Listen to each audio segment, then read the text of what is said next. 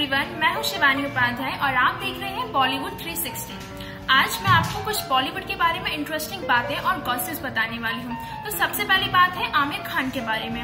इस समय आमिर खान अपना बड़ा प्रोजेक्ट महाभारत में बिज़ी है, लेकिन उससे पहले वे अपने एक नई वेब सीरीज़ चालू करने वाले हैं, जिसका नाम है ओशो रजनीश। ये उनकी लाइफ पर बेस्ड है। लेकिन इसमें इंटरेस्टिंग फैक्टर ये है कि ओशो रजनीश नाम की वेब सीरीज़ इंडिया के साथ साथ कई इंटरनेशनल चैनल्स पर भी दिखाई जाएगी।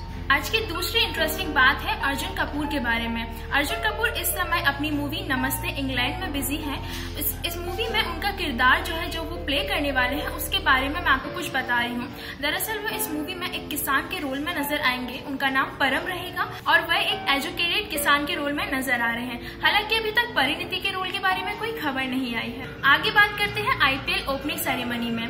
क्रिकेट का और बॉलीवुड का पुराना और बेहद खास रिश्ता है। यही वजह है कि आईपीएल ओपनिंग सेरेमनी में कई बॉलीवुड सितारे अपनी परफॉर्मेंस देने वाले हैं। जैसा कि मैंने आपको लास्ट वीडियो में बताया था कि रणवीर सिंह 15 मिनट की अपनी परफॉर्मेंस के लिए 5 करोड़ लेने वाले हैं, जो कि अब तक की सबसे हाई रेट थी। लेकिन उनके इस रिकॉर्ड को वरुण धवन ने तोड़ दिया है। वे अपनी छोटी सी परफॉर्मेंस के लिए छह करोड़ रूपए चार्ज करने वाले हैं।